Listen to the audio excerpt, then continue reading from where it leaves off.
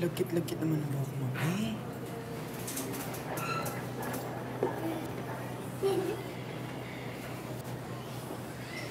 Lagkit ang buhok mo. Ano Kung magpapalit mo sa mga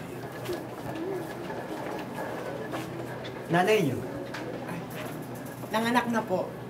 Pwede nang kantutin ulit. Ay. Pinagtatawanan. Kanto ka na.